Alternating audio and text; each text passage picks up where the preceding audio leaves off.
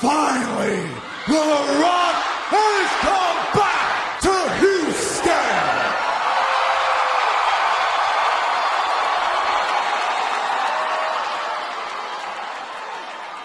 Now, seeing as this is a very special night, and The Rock has come to Houston to have a great time.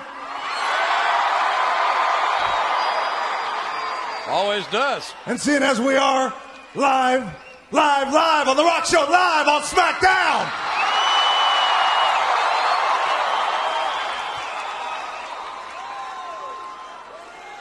The Rock is issuing. The Rock is issuing a challenge to anybody in the back who wants to go one on one with a great one. Who wants to go one on one with a great one and get a piece of the rock? Who's going to accept this challenge? Somebody's going to jump on it, I'll tell you. Oh, it's not going to be me.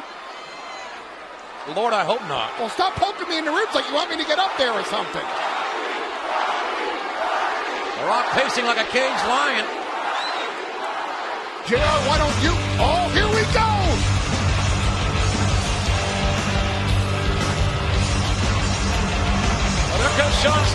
Stasiak and, and Stacy Keibler. Thank you very much. Who's successful challenge, Stasiak or Keibler? Does it matter? As long as she wears that dress, I don't care. Well, here comes Stasiak. Running like a wild man down here, and oh!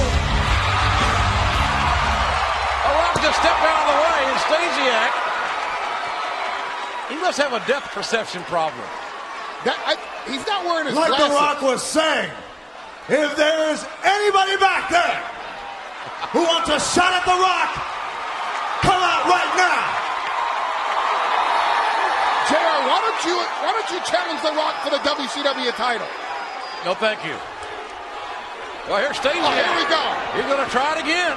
You got to get one. What are you doing? I'll tell you what, that is a proud member of the Alliance, huh, Paul? I'm sorry, I was looking at Stacy. What were you saying? Excuse me, I want my WCW title shot now. Back to reality, of course.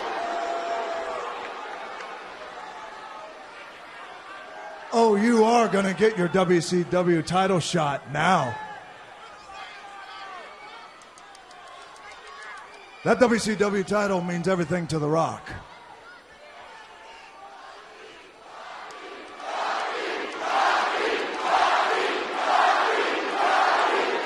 Sounds like it means a lot to these fans here in Houston as well.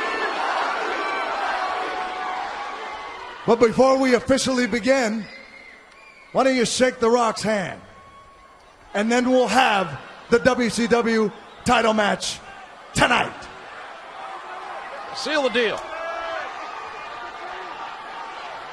And now, let The Rock officially welcome you to the Lone Star State.